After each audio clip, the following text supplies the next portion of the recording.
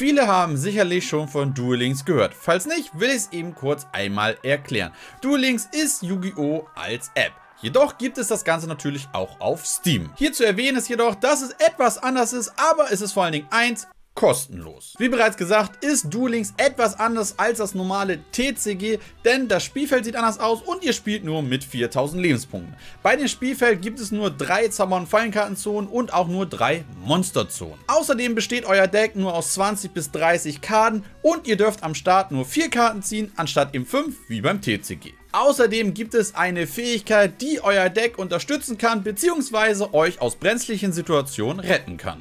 Wichtig zu erwähnen hierbei ist, dass das Spiel einen eigenen Kartenpool hat. Das bedeutet, auch hier gibt es wieder Metadecks, also sogenannte beste Decks des Formats. So, jetzt aber genug geredet. Klingt ja schon fast so, als wäre das hier eine Werbung. Doch wie fängt man eigentlich mit Duel Links an und worauf sollte man achten? Das werde ich euch jetzt in 5 Schritten erklären. Ich werde euch systematisch erklären, wie ihr am besten mit Duel Links anfangen könnt. Fangen wir auch mit dem ersten Schritt an. Und der ist eigentlich ziemlich simpel. Zunächst einmal müsst ihr natürlich das Spiel euch downloaden. Und dann spielt ihr einfach das Tutorial. Das Tutorial zeigt euch, wie das ganze Spiel funktioniert und wo ihr eben was finden könnt. Außerdem macht ihr natürlich eure ersten Duelle. Zu Beginn könnt ihr zwischen Kaiba und Yugi entscheiden und es ist eigentlich ziemlich egal, welchen Charakter ihr nehmt, denn später könnt ihr eh den anderen freischalten. Nachdem ihr das Tutorial durchgespielt habt, müsst ihr nochmal ein großes Update downloaden, damit ihr alle Funktionen von Duel Links freischalten könnt. Und damit seid ihr dann auch schon mit dem ersten Schritt durch und wir können zu dem zweiten übergehen. Doch bevor wir mit Schritt 2 beginnen, will ich euch eine goldene Regel sagen, die ihr unbedingt einhalten solltet. Die goldene Regel ist folgende. Kauft auf keinen Fall neue Karten mit Edelstein oder löst auch keine Tickets ein. Falls ihr euch fragt, was jetzt Tickets sind, Tickets sind einfach sogenannte Sonderoptionen, wie ihr eben Karten freischalten könnt. Also auf keinen Fall einfach drauf los, irgendwelche Booster öffnen oder euch irgendwelche Karten holen, denn es bringt euch eigentlich wirklich gar nichts am Anfang, einfach wahllos irgendwas zu holen. Auch wenn ihr Anfang sehr viele Geschenke bekommt, heißt auch viele Edelsteine etc. Spart euch das Ganze, denn das kann später noch sehr wichtig werden. Doch was muss man jetzt eigentlich in Schritt 2 machen? Und zwar, ihr baut euer Deck um. Das bedeutet, ihr geht in euren Deck-Editor und baut euer Deck so um, dass ihr einfach nur die stärksten Monster, die ihr aktuell besitzt, in euer Deck packt und die schwächeren eben rausnimmt. Euer Deck sollte optimalerweise 20 Karten enthalten, so ist es auf jeden Fall am konstantesten. Bei den Zauber- und Fallenkarten solltet ihr auch nur auf Karten setzen, die eben einen sinnvollen Effekt haben.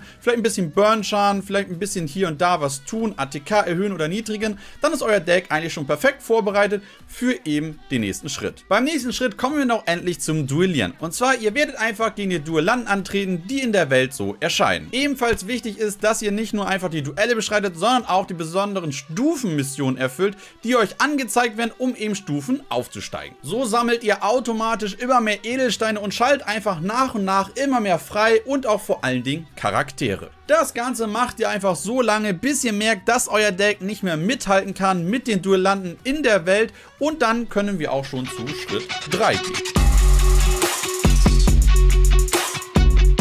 Es gibt ja, wie bereits am Anfang erwähnt, eine sogenannte Meta und dort sind eben quasi die besten Decks vertreten. Jetzt könnte man einfach sagen, dass man eins dieser Decks nimmt und spielt. Fertig.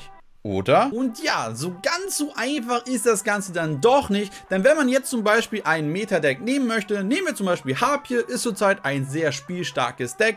Das Ganze würde ungefähr um die 29.000 Edelsteine kosten und das ist doch eine ganz schöne Menge und dafür müsst ihr ganz schön lange sparen. Doch wie bekommt man diese ganzen Edelsteine eigentlich, wenn wir ja gar kein Deck haben, womit wir uns diese eben verdienen können? Hierbei gibt es jetzt zwei Wege, wie ihr eben diese Edelsteine sammeln könnt. Zum einen könnt ihr einfach Geld investieren, um eben Edelsteine zu bekommen, beziehungsweise eben Booster Packs. Und der andere Weg ist eben, dass ihr viel spielt. Jedoch ohne Deck ist das Ganze eben schwer. Und deshalb erkläre ich euch jetzt am Anfang, wie ihr ganz einfach ein spielstarkes Deck euch holen könnt. Zunächst erkundigt euch einfach mal im Internet oder auf YouTube, was aktuell die guten Decks in Duel Links sind. Das ist natürlich je nachdem immer ein anderes Deck, denn wenn ich jetzt sage, was die besten Decks sind, ist das vielleicht in einem halben Jahr nicht mehr so. Und wenn ihr das getan habt, guckt ihr einfach, welches Deck davon auch als Structure Deck erhältlich ist, denn dort sind immer schon sehr viele gute Karten zusammengestellt. Wichtig hierbei zu erwähnen ist noch, dass ihr ein Structure Deck nehmt, was an sich schon fast so spielbar ist, wo man kaum eben noch neue Karten zukaufen muss bzw. zusammeln muss. Wenn wir das Ganze aktuell angucken, würde ich zurzeit empfehlen, edle Ritter zu nehmen. Es ist an sich ein sehr gutes Deck, was natürlich nicht das beste Deck überhaupt ist, aber auf jeden Fall sehr spielstark ist und quasi schon fast fertig ist, wenn ihr euch ihm einfach das Structure Deck holt. In den meisten Fällen ist es am besten, das Structure Deck gleich dreimal zu holen, denn so habt ihr alle spielstarken Karten direkt dreimal und könnt daraus eben das perfekte Deck zusammenstellen.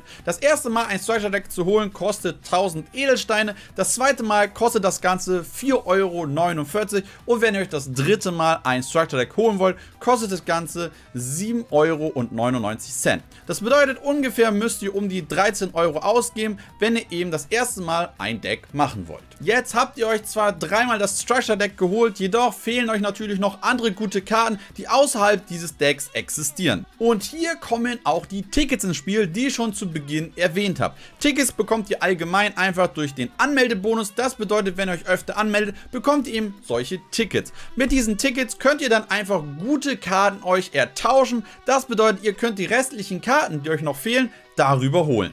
Bei den Tickets ist es besonders wichtig, dass ihr eben allgemeine Karten nehmt. Das heißt, ihr nehmt keine Karten, die speziell für ein gewisses Deck geeignet sind, sondern einfach Karten, die man quasi in jedem Deck spielen kann. Aktuell sind das zum Beispiel Karten wie Raigeki Brecher, Schicksalsschlag oder Heimtückische Fallgrube. Aber auch Karten wie Ernste Predigt sind eigentlich ziemlich spielstark. Allgemein kann man sagen, dass Karten sehr gut sind, die die Normalbeschwörung aufhalten bzw. verhindern oder eben Zauber- und Fallenkarten, die einfach andere Zauber- und Fallenkarten zerstören. Wichtig ist jetzt noch über eine Sache zu reden, und zwar die Fähigkeit. Bei Duel Links gibt es eben die Fähigkeit und je nach Deck wollt ihr natürlich eine andere Fähigkeit spielen, die eben perfekt zu eurem Deck passt passt. Auch hier erkundigt euch einfach mal, welche Fähigkeit zu eurem Deck passt, was ihr gewählt habt und dann versucht einfach eben diese freizuschalten. Hierbei müsst ihr einfach gewisse Charaktere freischalten und diese auf ein gewisses Level bringen und schon bekommt ihr eben gewisse Fähigkeiten. Manchmal ist es auch so, dass ihr Fähigkeitstickets bekommt. Das bedeutet, ihr bekommt ein Ticket, womit ihr euch einfach irgendeine Fähigkeit aussuchen könnt, die ihr dann eben bekommt. Die sind natürlich auch sehr praktisch, jedoch sind sie eigentlich ziemlich selten. Jedoch, wenn ihr euch jetzt gerade anmeldet, kriegt ihr es durch das KC Grand Tournament eben genau so ein Ticket. Und fertig. Schon habt ihr ein spielstarkes Deck und könnt einfach direkt losgehen. Ich zum Beispiel habe das Ganze auch gemacht. Hier seht ihr einfach mal meine Deckliste. Dort habe ich eben genau das gemacht, was ich eben quasi erklärt habe. Und genau mit diesem Deck nehme ich gerade am KC Grand Tournament teil und bin bereits Level 13 von 25 und das ziemlich problemlos und das mit einfach diesem Deck. So, jetzt habt ihr schon ein spielstarkes Deck und könnt eben an den Events bei Duel Links teilnehmen und werdet nicht immer verlieren. Zusätzlich könnt ihr jetzt da dadurch einfach weitere Edelsteine sammeln, um eben in Zukunft euch vielleicht ein weiteres Deck zu holen. Und da kommen wir auch schon zu Punkt 4, denn ich erkläre euch jetzt, was man bei Schritt 4 bzw. macht, wenn man sich ein neues Deck holen möchte. Beim vierten Schritt ist es so, dass ihr zunächst einmal das Deck verbessern könnt, das ihr zu Beginn gebaut habt. Das bedeutet nicht nur, dass ihr die drei Structure Deck benutzt, sondern vielleicht auch noch andere Karten, die eben euer Deck verbessern. Zum Beispiel bei mir sind es ja die edle Ritter und dort fehlte mir noch die Königin, die ich dann eben einfach aus einem Booster gezogen habe und die dann ebenfalls in mein Deck gepackt habe. Jetzt seid ihr in der Situation, dass ihr euch ein nächstes Deck aussuchen könnt, welches ihr gerne spielen möchtet. Wichtig dabei zu erwähnen ist, dass ihr euch auf eins fokussiert, denn es bringt einfach gar nichts, dass ihr fünf verschiedene Decks machen wollt und von jedem Deck am Ende dann nur fünf Karten habt und dann quasi gar kein Deck davon spielen könnt. Also fokussiert euch auf ein Deck, was ihr holen wollt und sammelt dann eben dafür explizit die Karten. Das heißt, wenn ihr zum Beispiel das Harpien-Deck haben wollt, gebt auch wirklich eure Edelsteine genau nur für diese Karten aus und sammelt das komplette Deck. Das kann vielleicht etwas dauern, aber es lohnt sich, denn am Ende habt ihr ein komplettes Deck und könnt damit eben spielen. Doch dass es etwas länger dauert, ist ja gar nicht so schlimm, denn ihr habt bereits hier ein funktionierendes Deck, womit ihr eben bei den Events teilnehmen könnt und zusätzlich natürlich auch gegen andere Duellanten in der ganzen Welt spielen könnt. So, das war dieser Punkt und kommen wir zum letzten Punkt und zwar Schritt 5. Und beim letzten Punkt will ich euch nochmal ein paar Tipps mitgeben. Ich werde euch vier mit auf den Weg gehen. Natürlich gibt es noch viel, viel mehr Tipps, die man sagen könnte. Doch ich beschränke mich jetzt auf vier, weil sonst würde das hier auf jeden Fall den Rahmen sprengen. Bei dem ersten Tipp handelt es sich um einen sehr simplen, jedoch sehr einfachen. Loggt euch regelmäßig ein. Ihr müsst gar nicht spielen, doch wenn ihr euch allein jeden Tag einloggt, bekommt ihr schon Belohnung dafür, dass ihr euch eben eingeloggt habt. Das hilft euch einfach schon, gewisse Tickets zu bekommen oder eben gewisse Belohnungen zu bekommen, die ihr dann später eben einsetzen könnt, um eure Decks zu verbessern. Bei dem zweiten Tipp handelt es sich auch um einen sehr simplen, aber sehr effektiven, und zwar spielt gegen die Duellanten, die in eurer Welt erscheinen. Hierbei könnt ihr sogar die Autoduell-Funktion benutzen, um eben mehr Zeit zu sparen, beziehungsweise um das Ganze sehr schnell abzuwickeln. Wichtig zu erwähnen hier ist, die Autoduell-Funktion bekommt ihr erst ab Stufe 6, also schön leveln. So bekommt ihr einfach Erfahrungspunkte und sammelt zusätzlich Schlüssel und Edelsteine, die ihr eventuell für die Zukunft gebrauchen könnt. Ein weiterer Tipp ist es einfach, jeden Tag die kostenlosen Edelsteine mitzunehmen. Jetzt fragt ihr euch sicherlich, wo findet man diese Edelsteine? Ich zeige euch das Ganze einfach mal in Duel Links. Und zwar, ihr habt ja die vier verschiedene Ansichten hier und hier kann man verschiedene Sachen anklicken, um eben die Edelsteine zu bekommen. Hier in diesem Bereich sind es die Laternen. Ihr könnt sie einfach anklicken und könnt so eventuell eben Edelsteine bekommen. Falls nicht, müsst ihr weitersuchen. Und zwar, wenn ihr einmal hier nach links klickt, kann man hier einfach auf den Springbogen klicken und schon geht das hier so hoch und auch hier könnten eventuell Edelsteine versteckt sein. Hier seht ihr es sogar, ich habe jetzt hier drei Edelsteine gefunden. Falls ihr das noch nicht getan habt und noch keine gefunden habt, klickt ihr hier einmal zur Seite und geht hier hin. Hier müsst ihr auf die Mülltonne hier unten klicken und dort können ebenfalls eben Edelsteine enthalten sein. Wenn ihr hier raufklickt, guckt hier eine Katze raus und ihr bekommt eventuell Edelsteine. Ebenfalls hier gibt es natürlich auch die Möglichkeit, eventuell Edelsteine zu finden. Und zwar, wenn ihr hier über den Laden klickt, kommen hier so Luftballons raus und eventuell eben auch Edelsteine. Das sind die vier Möglichkeiten, wo eben eventuell Edelsteine versteckt sein können. Wichtig hier zu erwähnen ist, dass natürlich das pro Tag nur einmal geht. Und kommen wir jetzt auch zum letzten Tipp und zwar, wie kauft man richtig Karten bzw. Booster? Und das will ich euch kurz erklären. Dafür sind wir hier einfach mal im Spiel und gucken uns einfach mal ein Set an. Hier sehen wir ein Set und sehen, wie viele Booster diese ganze Box enthält. Und zwar hier zum Beispiel 180 Stück. Wenn ihr jetzt eine kauft, also hier einfach ein Pack kauft, dann geht hier eins natürlich runter und es sind nur noch 179 drin.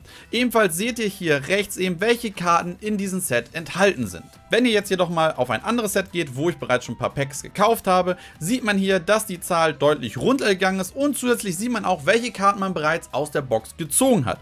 Wenn wir jetzt zum Beispiel hier dieses Synchro-Monster uns angucken, ich habe es bereits einmal gezogen und jetzt ist es nur noch nullmal eben in der Box vertreten. Das bedeutet, falls ihr genau dieses Synchro-Monster dreimal haben wollt, könnt ihr aus dieser Box ja quasi nicht mehr dieses Synchro-Monster ziehen, denn ihr habt es ja schon bereits einmal gezogen. Jetzt gibt es die Funktion Box zurücksetzen und dann werden die diese Packs wieder aufgefüllt, aber auch eben alle Karten aus dieser Box. Das bedeutet zum Beispiel, dass ihr dieses Synchro-Monster eben wieder ziehen könnt.